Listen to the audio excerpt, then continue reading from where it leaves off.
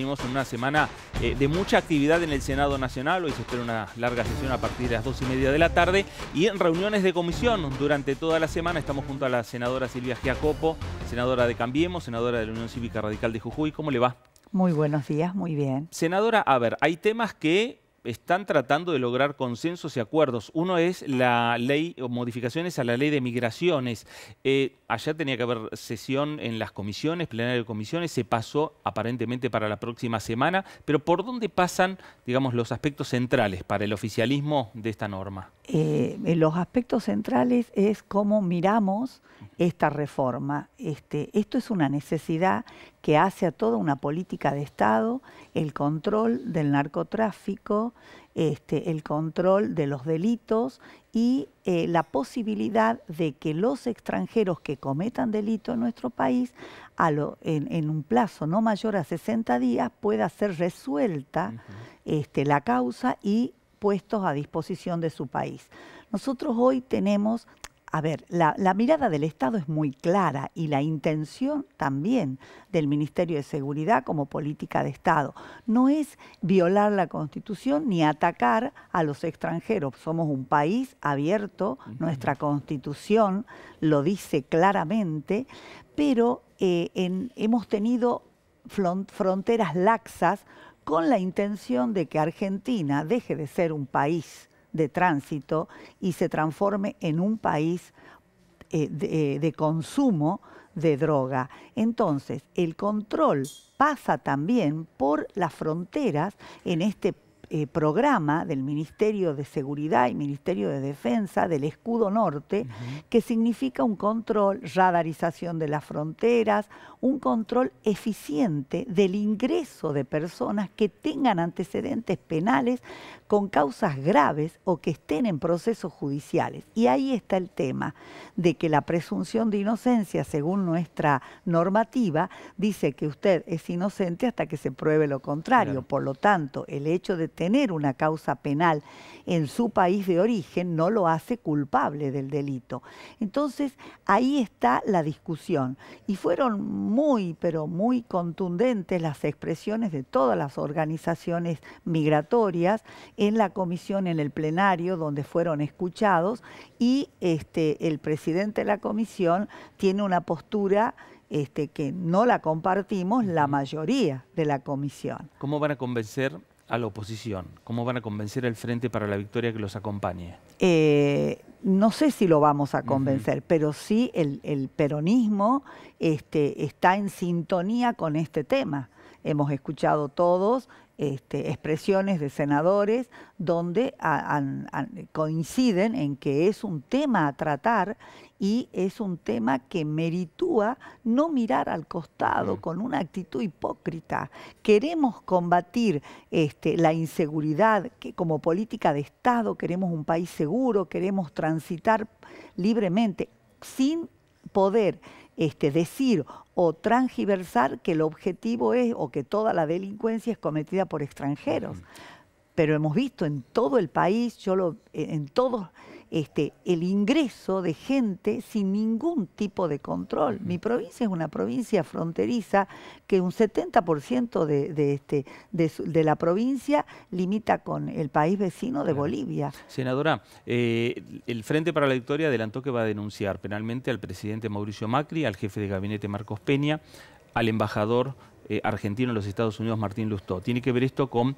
Eh, supuesta compra de armas a los Estados Unidos, eh, que tiene que ver también con lo que estamos eh, conversando. ¿Hubo compra o no hubo compra de armas? No hay compra y no hay intención de comprar material bélico.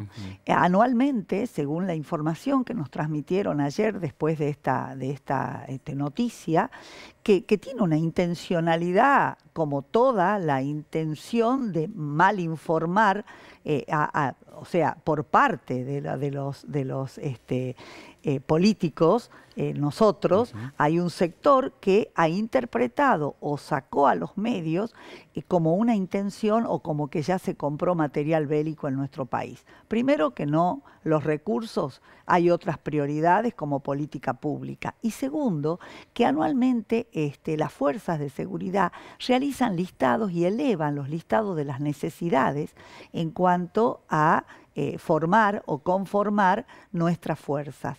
De allí a que ese listado, porque hablaban de que había que no sé cuántos tanques de guerra, que eso no es nada cierto. Lo que sí es este, una foto, ¿sí?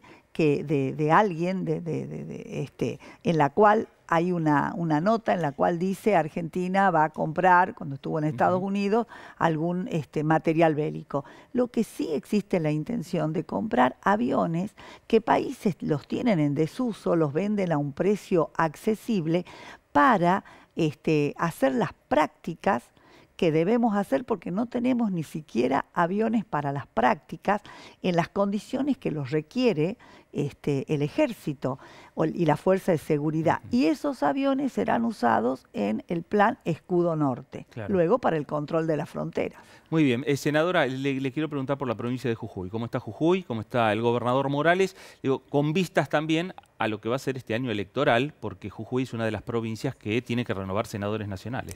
Sí, eh, bueno, nosotros en Jujuy, el hecho de haber recuperado la paz social, la gente de Jujuy, todos, estamos en una actitud esperanzadora porque el lema del gobierno de Morales, unión, paz y trabajo. Hemos logrado la unión conformando un frente tan amplio con el peronismo, nuestro vicegobernador es del PJ, eh, con el socialismo y con muchas fuerzas políticas.